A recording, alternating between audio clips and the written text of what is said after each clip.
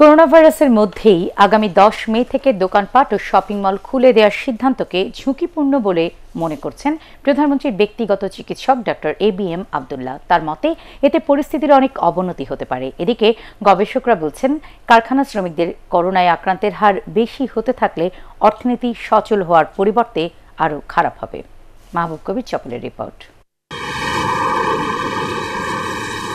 জীবনের সংখ্যা থাকলেও জীবিকার তাগিদে ছুটছে মানুষ। চাকরি বাঁচাতে গত কয়েকদিন থেকে রোজার মধ্যে ঢাকামুখী অনেকেই। খুলছে একের পর এক তৈরি পোশাক কারখানা। মানা হচ্ছে না স্বাস্থ্যবিধির সরকারি নির্দেশনাও। এর মধ্যে ঢাকার সাভারে বেশ কয়েকজন করোনায় আক্রান্ত হয়েছেন। বলা হচ্ছে অর্থনীতির চাকা সচল করতেই এই সিদ্ধান্ত। তবে এতে হিতে বিপরীত হতে পারে বলে আশঙ্কা গবেষকদের। আমাদের স্বাস্থ্য ঝুঁকি দিন দিন বাড়ছে, কমছে তো না।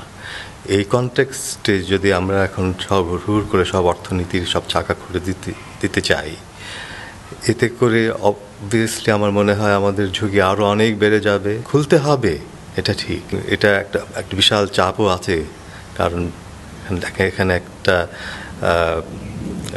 লাইভলিহুডের একটা বিষয় আছে মানুষের রোজগারের বিষয় আছে মানুষের খাদ্য নিরাপত্তার বিষয় আছে। তো কিন্তু এই যে ব্যালেন্সটার কথা যেটা আমরা বলি, এই ব্যালেন্সটা আসলে অত্যন্ত গুরুত্বপূর্ণ। শুধু কারখানা নয়, আগামী দশ মে থেকে সীমিত পরিসরে খুলছে দোকানপাট ও শপিং মল। স্বাভাবিকভাবেই ঈদকে সামনে রেখে মানুষের ভিড়ও বাড়বে, ফলে অনেকটাই উপেক্ষিত হতে পারে সামাজিক দূরত্বের বিষয়টি। করোনার ঊর্ধ্বমুখী পরিস্থিতির মধ্যেই এ সিদ্ধান্তকে ঝুঁকিপূর্ণ বলে মনে করেন প্রখ্যাত চিকিৎসক অধ্যাপক এ বি এম আবদুল্লাহ। আসলে প্রশাসনিক ব্যাপার ব্যক্তিগতভাবে আমি তো এই সম্পর্কে কিছু জানি না, কারণ আমি তো কোনো প্রশাসনিক দায়িত্বে না আসলে। এটা একটা ঝুঁকিপূর্ণ বোধ হয়ে গেল আর কি।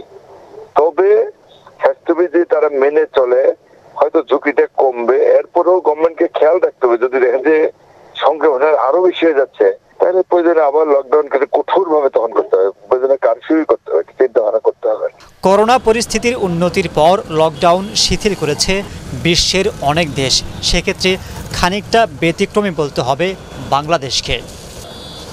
মাহবুব কবির চপল এটিএন বাংলা, ঢাকা।